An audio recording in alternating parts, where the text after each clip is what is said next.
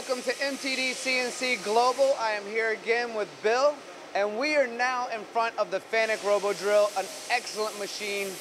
And we're going to discuss a little bit about a process that you had implemented previously on another machine that you decided to replicate here on the Robo Drill. And I'd like to learn a little bit more about that, Bill. Can you share with our audience a little bit more about what you did on a prior machine, which I know you're going to go into detail about, but I don't want to spoil it. I don't want to give any spoiler, but spoiler alert, we're about to learn something new. Um, so Bill, please go into it and let us know what we're doing here. All right. Thank you again for being here. So five years ago, six years ago, we bought two Kiwa horizontals, a six pallet and an eight pallet machine. With those machines, when we purchased them, we bought two tombstones from KME. So they have four, two on each side, four rotary pallets. So we use those in those machines eight, ten hours a day, five, six days a week. Putting a part in there, we can get the five sides, any angle, and completely finish the part. We take it off there, flip it over into a vise, and mill off the back and do whatever we need to do. The concept has worked so great, and unfortunately the key Kiwas are too expensive, so I haven't bought any more since, but we purchased a Robo drill two years ago, and we just purchased another one last month. So what I've done on these is I put a double trunnion KME head on one pallet and four double lock vices on the other pallet. So we can put our parts in there, get the five sides, any angle, any facet on those parts, two at a time, flip them off of there onto the other pallet with the vices, and mill off the back. We put four double lock vices on there so we can use one or two of those vices to get those two parts finished and can run a second job on the other vices. So we're emulating what we do in the horizontals with just as good of a machine, but a little less capacity and a little less money. And it's worked so well, as I said, that we now have two of them and we're running them that way. And we have one operator running both machines, setting them up in a cell. He's got the double trunnion on both machines, four vices on both machines, so we're able to run complicated work. It's three plus two, it's not five axis work, but we're able to get all of that finished. We have a family of parts that we run continually on the one machine, and then we have multiple jobs we run on the other machine, keep them busy. So is this a part that you had been machining previously and it just wasn't as efficient, or did you take on this job knowing that you would have the ability on these machines to create this part more efficiently?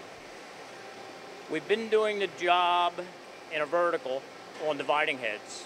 So we had two KME dividing heads in there. We're getting to four sides of the part. We had to flip it on the vices then three more times. We put them in here. We were able to cut off an operation, also about a minute of cycle time, and with the pallets, the spindle's constantly turning. So we have a, on the verticals, we had about a four minute changeover on a seven minute cycle time.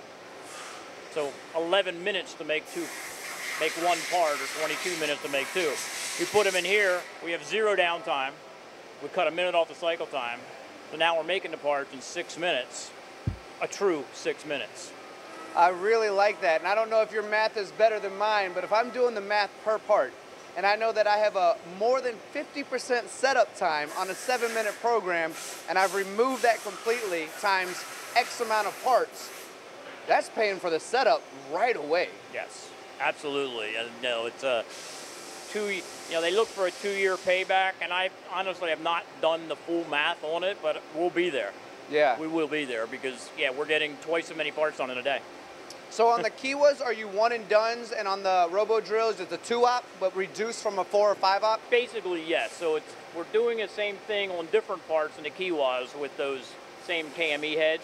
So we're putting parts in, we're getting to five or six sides, we're flipping them over on the on a vise in usually on the same side of that tombstone. So we're getting the part in there flipped and done. And again, with the, the Kiwas and the pallet machines, we have zero downtime on the spindle. Those machines were running three to six hours at night unmanned because of the number of pallets and the number of parts that are on the pallets. These machines will run, but they're only going to run about 50. We cut the cycle time, cycle time down so well that we're only going to get about a 15 minute unmanned time. Right. But we're going to get twice as many pieces done in a day. Right. Well, guys, this is what I love about technology and a company like Hardy Machine is they're able to do something, but then they started thinking outside of the box of how we can do it better. To me, it is remarkable that we can take something with a four minute changeover time, four, four minute part change time on a seven minute total program and remove it completely, which of course makes sense to investing in the future of our companies and of our businesses and of our employees and coworkers. Yes, I mean, if you're not moving forward, you're moving backwards. And we're constantly thinking, that's what I, with the guys out here in the shop, they're constantly thinking, but I'm also constantly thinking about where we want to be. I mean, we talk to some of our customers and they have these long-term plans. And we've actually asked them, okay, what does long-term mean to you? And they're like, six months. You know, I don't even, I'm not even thinking about six months from now. To me, long-term is over five years because I'm always thinking three to five years ahead. Where are we going? What are we doing? So, you know, and we need to improve. You know, the labor market's getting tighter, the pricing is getting tighter, quality is going up, the complexity of the parts is going up. So we love to go to IMTS every two years, see what's out there. We can't keep up with IMTS, but we can keep moving forward. Right. Well, while you were talking, and that was inspirational, and I, I love, and I believe it was your father that said that if you're not moving forward, you're moving Yes, backward. was. It's, it's fantastic advice. But I was trying to do a little bit of the math in my head as well, right? So if I'm making seven parts an hour, and eight parts an hour at seven minutes, you're looking at more or less an hour, right? 56 minutes.